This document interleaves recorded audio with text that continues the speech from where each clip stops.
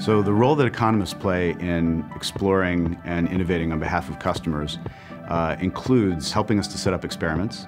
So we can do controlled experiments with customers or potential customers to see how they react to different features. The economists are very good at helping us make sure that we draw statistically significant conclusions from those experiments. Our economists mostly are working in econometrics or applied econometrics.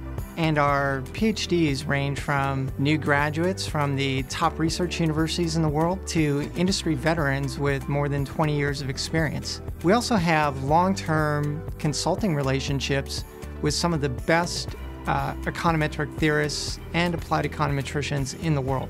Amazon economists get to use all sorts of different data, varying from microdata to macro data. I think one of the most compelling things about working here is if you're working on a very macro project, uh, looking at aggregate time series, you can actually go into the disaggregate data if you find an anomaly. At Amazon, we operate on a huge scale, so um, measuring things correctly is very important. Even a small percent of an improvement um, in measuring things or forecasting better can have a huge impact. It's a very collaborative environment. I work with other economists, other scientists from different disciplines, statisticians, computer scientists, operations research scientists, machine learning, software developers, business leaders, senior management. Economists have the chance to work with everyone. That's one of the most fun parts about working here. Economists at Amazon focus on high-impact business problems, working side by side with business leaders and engineers. We have economists like myself that manage and lead teams, as well as economists that work as individual contributors. Economists are spread throughout the company, working on a wide range of problems, diving deep into the data and delivering practical solutions over and over and over again. We're also a tight-knit community. We come together as a group multiple times throughout the year, and we have crafted a strong culture of support for each other. I use econometrics and machine learning to build systems that can respond to real-time data and make business decisions on the spot. That is not something I knew how to do before, and I truly find it fascinating. At the same time, Amazon recognizes that we need to keep up with what's happening in the broader field of economics. We have several in-house workshops, presentations, and even intensive courses taught by world-renowned economists.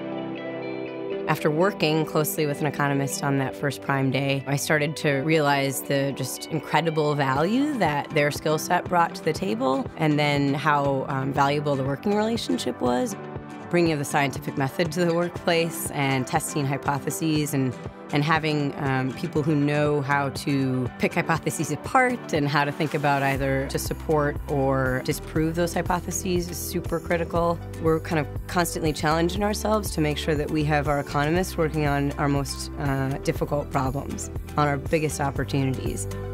Now I, I kind of seek to work with them in any capacity. As an economist at Amazon, what really keeps me motivated day to day, coming back and continuing to stay excited, is knowing that what I'm working on actually makes a difference for the business. So when I'm conducting an analysis of the, some new program, trying to estimate an impact, I know that that final report is going to go to someone who's in charge of deciding whether to continue that program, whether to expand that program.